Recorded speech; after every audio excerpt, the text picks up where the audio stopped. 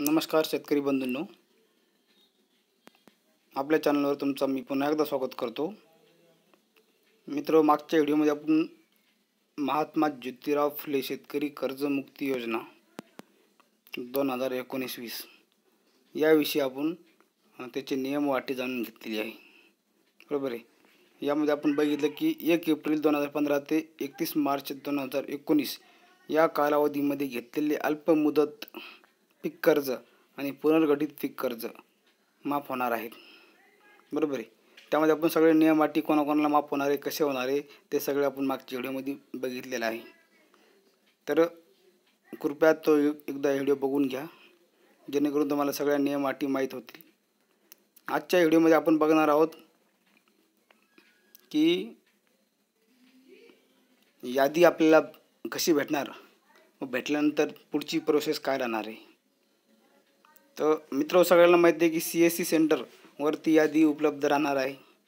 त्यानंतर आपल्या बँका बँकाच्या बाहेर त्या याद्या लागल्या लागल्या जाणार आहे. त्यानंतर आपल्या गावाच्या ग्रामपंचायत किंवा गावाच्या चवाऱ्यावर पण त्या यादी लागणार लागल्या जाणार आहे. त्यामुळं ती यादी जवळपास जी पहिली यादी निघलेली आहे ती सगळ्यांना भेटलेली असावी. तर यादी भेटल्यानंतर काय करायचं हे महत्त्वाचं आहे. तर चला आपण या एक यादी डाउनलोड करून बघूया.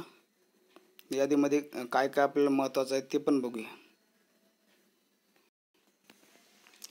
हे बघा मित्र आपण ही एक यादी बघू शकतो जी की आलेली आहे जालना जिल्ह्यामधली यादी आहे. तर या यादीमध्ये आपण नाव नाव बघू शकतो बघा. एक पहिल्या क्रमांकावर आहे राजेंद्र बाबूराव राठोड. दुसऱ्या क्रमांकावर आहे अफजल पटेल मेहबूब. मित्र हे नाव आपल्या आधार कार्डाशी मॅच होणं गरजेचं आहे. यासमोर दिलेले दिलेले विशिष्ट क्रमांक जो की खूप महत्त्वाचा आहे. पुढे आधार क्रमांकाचे समोरचे दोन आकडे आणि शेवटचे दोन आकडे दिलेले आहे. बँकेचं नाव दिलेलं आहे. शाखा कुठली आहे? आणि बचत खाते क्रमांक पण दिलेले आहे.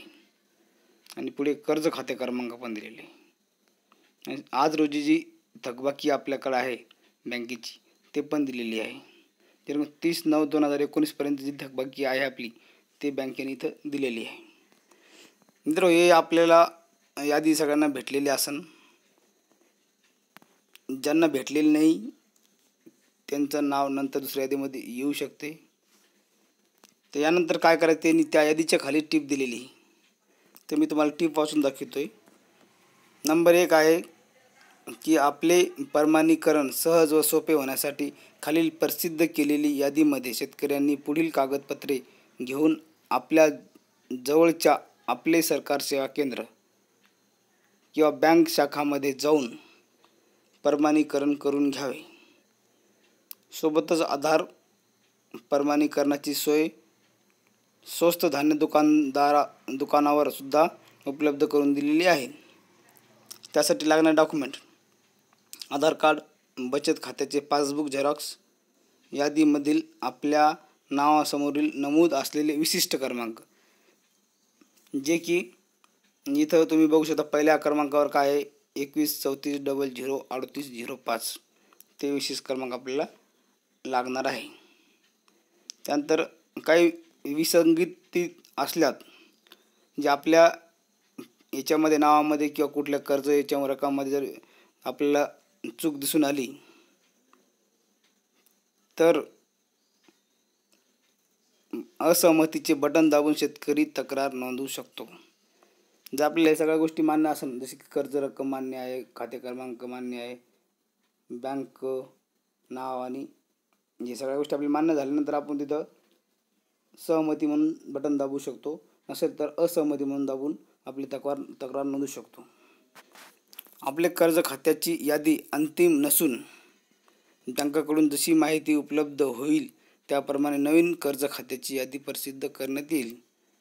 तेही कर्ज खात्याची यादी अं अंतिम नाही. नंतर जशी बँकेकडून आपल्याला उपलब्ध भरून भेटील भेटतील. दुसरी यादी त्यावेळेस ते परत प्रसिद्ध करतील.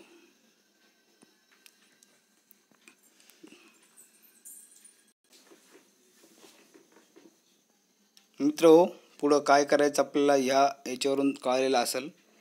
त्यामुळं ही यादी घेऊन लवकरात लवकर आपल्या आपले सरकार केंद्रावर जाऊन तुम्ही आपले नाव सगळे चेक करून सहमती नोंदवू शकता. आणि सहमती नोंदल्यानंतरच गव्हर्मेंट त्या खात्यामध्ये ती रक्कम जमा करणार आहे. त्यामुळे यादी आली म्हणजे आपली कर्जमाफी झाली असे नव्हे. त्यामुळे ते विशिष्ट क्रमांक घेऊन तुम्ही जाऊन हे वरी दिल्या पर प्रमाणे सर आपले सरकार सेवा केंद्र बँक शाखा व स्वस्त धान्य दुकानदार यांच्याकडे जाऊन या गोष्टी तुम्ही नोंदवू शकता. तर चला व्हिडिओ आवडला असेल तर चॅनलला सबस्क्राईब करा आणि व्हिडिओ आपल्या शेतकरी बांधवामध्ये जरूर शेअर करा. धन्यवाद. जय महाराष्ट्र.